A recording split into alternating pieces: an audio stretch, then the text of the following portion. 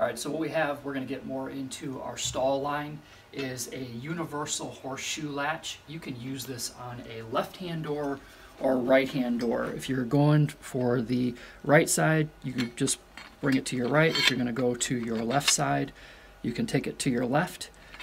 Or you can use it in place of the top bar latch. What you'll probably end up having to do is shim this out from the post so that it grabs there. It also has the option of being able to lock it with a padlock or a pin so your very creative horses don't unlock it with their mouth or tongue or whatever.